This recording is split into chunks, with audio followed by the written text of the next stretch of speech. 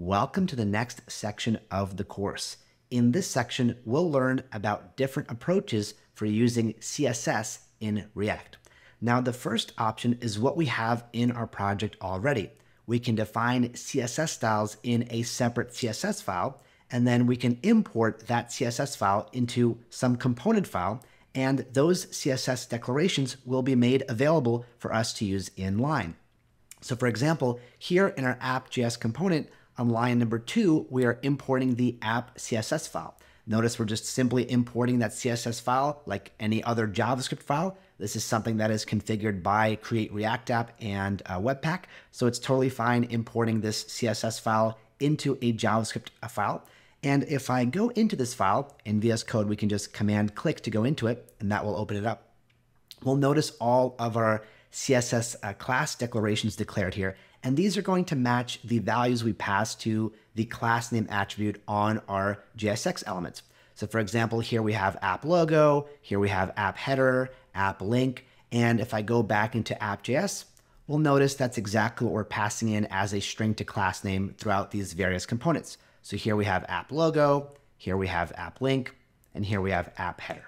So as soon as we import that CSS uh, file into this JS file, we gained access to all of those CSS classes and we could simply populate them in line. However, there is a problem to this approach, and that is that these CSS classes, in fact, any styles that we declare in our CSS files, are not local or scoped by default. What that means is they're not actually limited to this component. They actually become global CSS styles that are available in any component. So as soon as we import app.css, if we were to, for example, use app link or app header in any other component, it would still have access to these declarations and thus apply those styles.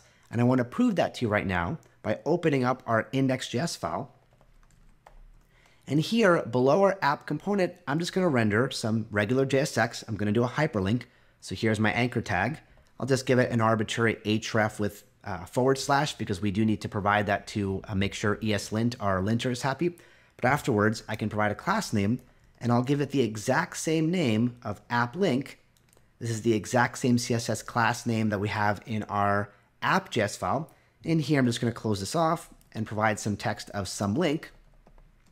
Save that. And if I scroll down on my browser page, you'll notice right here at the very bottom, we have some link and notice that it automatically has those blue styles applied. Those blue styles are coming from app link.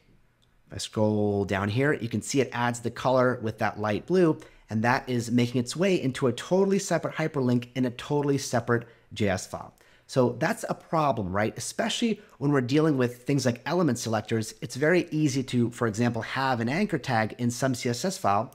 And then as soon as we import that CSS file, all of a sudden those elements uh, can and this and their styles can pollute the entire code base and make their way into unexpected places.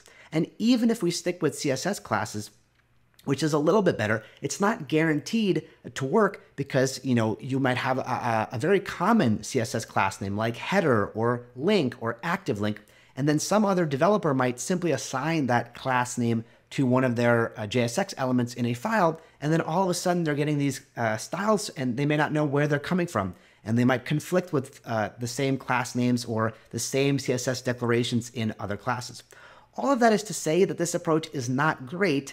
It's typically considered a good idea to limit global pollution, which means having things we do in one file affect or make their way into another file.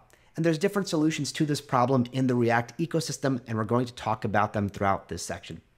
But this just goes to show you that this is still a valid approach to CSS in React. We can simply have a regular CSS file like we would have with a basic web application. And in there, we can define our styles, our, our element selectors, our class selectors, our ID selectors, target those things, import that CSS file into any JS file in our project, and then use those classes uh, for the class name uh, attribute on our um, respective elements in JSX. Totally valid, but as we can see, it does have that cost of being global and thus making it potentially difficult uh, to reason about.